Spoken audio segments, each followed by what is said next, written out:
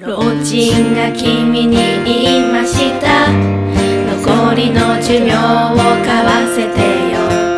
50年を50億で買おう。人生をやり直し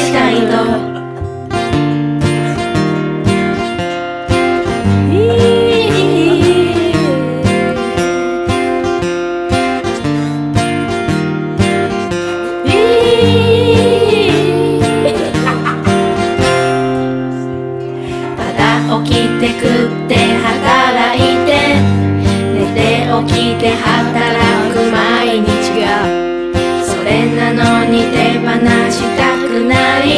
理由を考えてみたよ。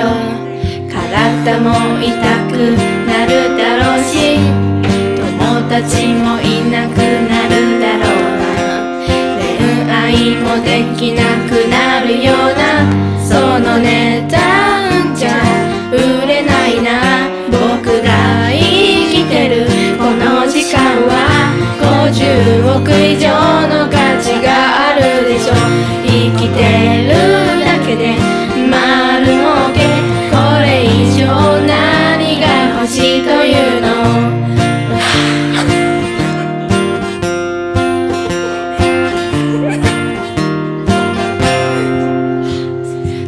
人が君に言いました。それなら倍の100億だそう奥さん子供もつけるから豪邸も仕事もつけるからさ。50年が100億ならば年収2億の大富豪だ。でも好きな人は自分でさ見つけたいからいら